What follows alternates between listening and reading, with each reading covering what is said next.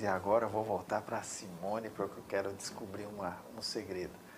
Simone, como é ser mãe, esposa, dona de clínica e, e médica? Não é fácil, vou falar para você que às vezes eu dou uma surtada, surto com a filha, surto com o marido, surto com a clínica, ser bem sincera.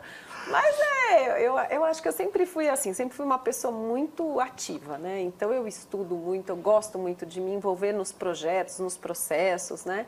Mas eu acho que o mais importante é a gente entender que o que importa não é a quantidade de tempo que você está ao lado de alguém. É verdade. É a qualidade, né? É. Então, minha filha, às vezes eu falava assim, me dava aquele sentimento de culpa. Ai, filha, eu saio tanto, eu trabalho tanto.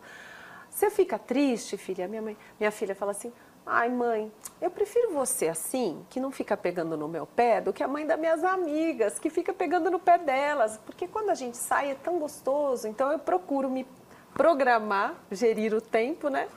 E, e, tem um dia que a gente faz o dia das meninas e a gente sai para jantar fora.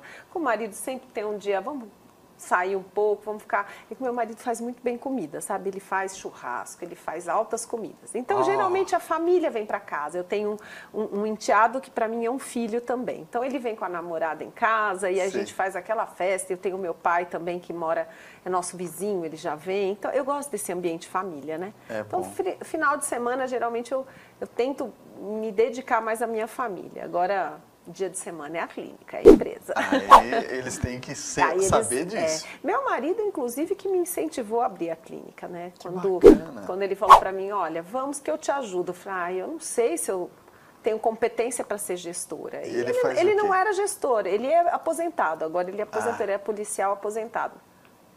Mas para ele era fácil, porque na aposentadoria né, ele tinha tempo para se dedicar, me ajudava. Então no começo ele ficou muito comigo. E aí depois a empresa cresceu, eu precisei profissionalizar, colocar pessoas que tivessem conhecimento técnico do que estavam fazendo, né? Você viu como você já tinha o feeling de gestora? É, é verdade. e a hora que eu decidi fazer gestão, eu resolvi mesmo porque eu falei, olha, não adianta, por mais que eu tenha boas pessoas, se eu não souber, eu não vou nem saber cobrar, né? E aí Sim. eu resolvi fazer gestão profissional e eu estou apaixonada pela GV são profissionais incríveis, fora o networking que a gente faz, né? É. Porque você conhece pessoas, inclusive dois colegas meus de sala estão, um deles está dando assessoria para mim, a outra está me dando consultoria, porque ela que faz bacana. uma parte de hotelaria e eu falei, olha, eu preciso de um bom atendimento, de recepção e ela está me dando consultoria, então que bacana, é, que é bacana. isso.